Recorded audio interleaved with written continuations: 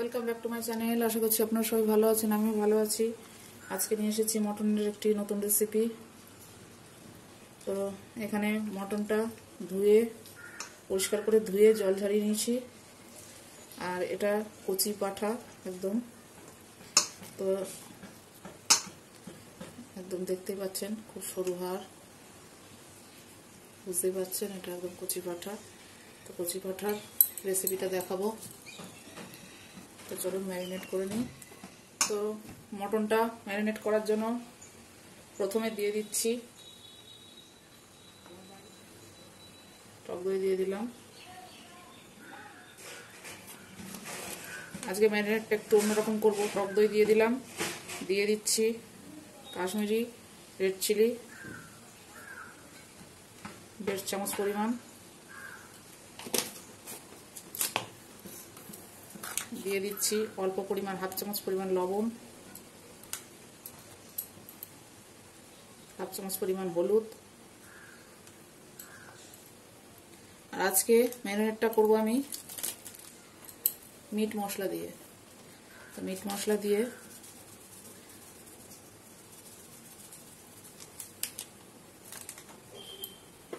দিয়ে দিচ্ছি দুটো পেঁয়াজ কুচিয়ে রেখেছিলাম, সেই পেঁয়াজ কুচিগুলো।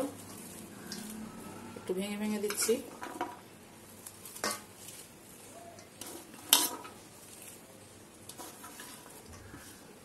আর দেব চিড়ে রাখা কাঁচা লঙ্কা।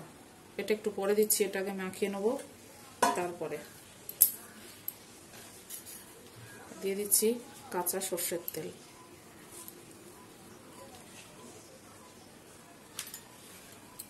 তো এটা ভালো করে মাখিয়ে নেব।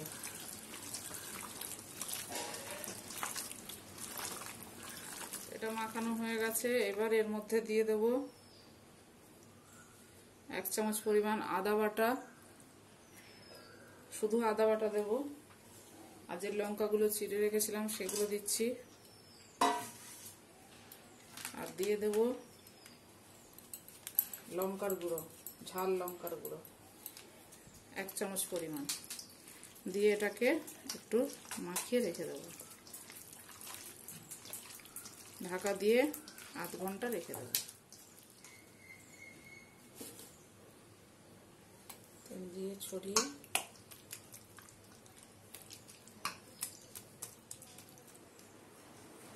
তো এখানে আধ ঘণ্টা হয়ে গেছে। মাংসটা ম্যারিনেট করা হয়েছে।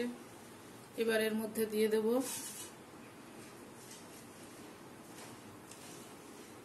আচারের তেল এক চামচ। বেশি দেব না।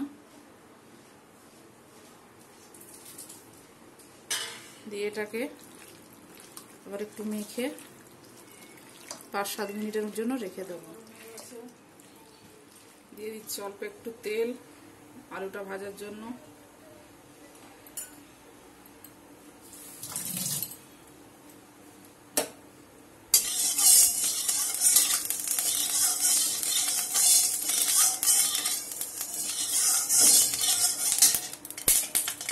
আলুটা লবণ হলুদ মাখিয়ে রেখেছি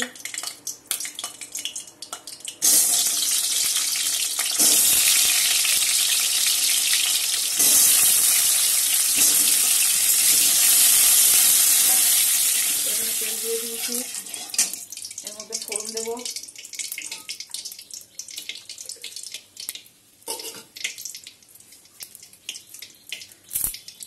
তেজপাতা দুটো এলাচ দারচিনি, লবঙ্গ, আর স্টার অ্যানিস, আর বড় এলাচ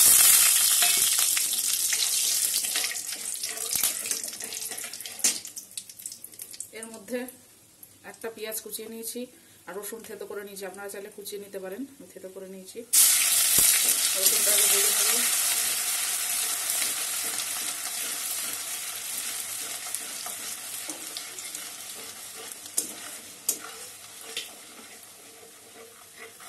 রসুনটা ভাজা হয়ে গেছে দিয়ে একটা পেঁয়াজ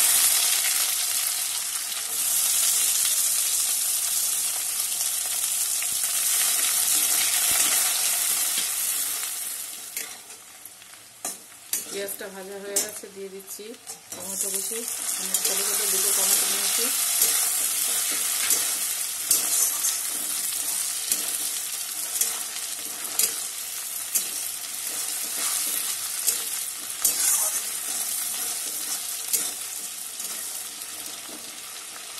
এর মধ্যে বাকি মশলাগুলো দেব। লবণ হ্যাঁ লবণ অল্প দিয়েছিলাম। লবণ হলুদ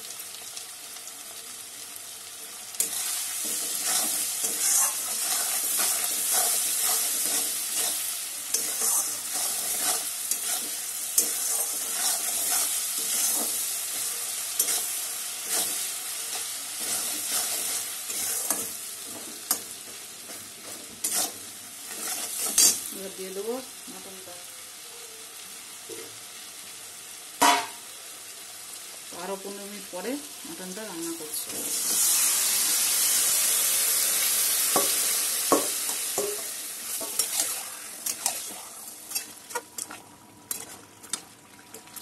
এই সময় আমি দিয়ে দেবো এবার।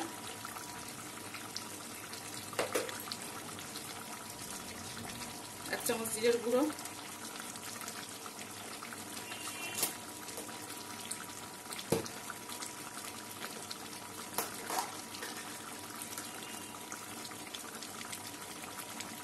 আর হাফ চামচ পরিমাণ কাসুরি মেথি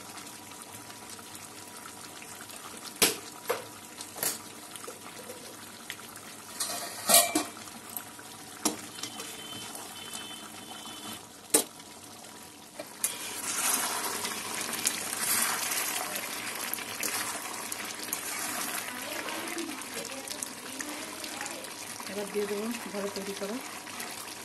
বিরিয়ানি মশলা।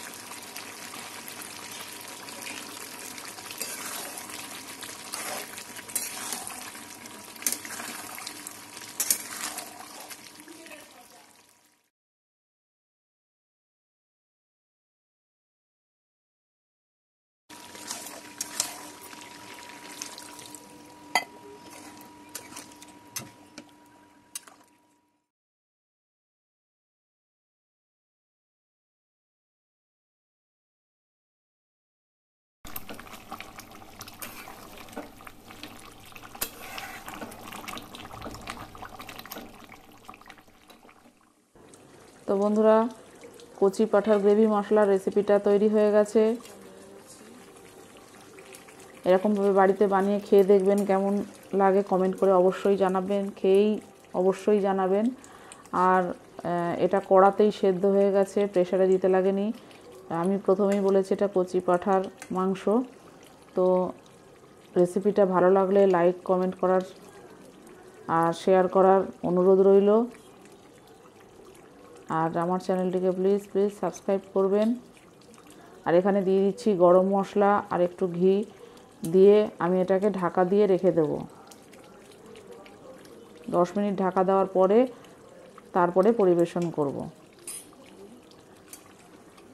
তো বন্ধুরা রেসিপিটা আজকে স্পেশাল বানালাম এই কারণেই আজকে শুভ নববর্ষের দিন। তো নববর্ষের সবাইকে শুভেচ্ছা রইল। আর রেসিপিটা ভালো লাগলে আবারও বলছি কমেন্ট করে জানাবেন। আর লাইক শেয়ার করার অনুরোধ রইল। আর আমার চ্যানেলটিকে প্লিজ সাবস্ক্রাইব করবেন। বন্ধুরা রেসিপিটা প্রথম থেকে শেষ পর্যন্ত দেখার জন্য আপনাদের অসংখ্য ধন্যবাদ। সুস্থ থাকবেন, ভালো থাকবেন। আর সবাইকে নববর্ষের শুভেচ্ছা রইল।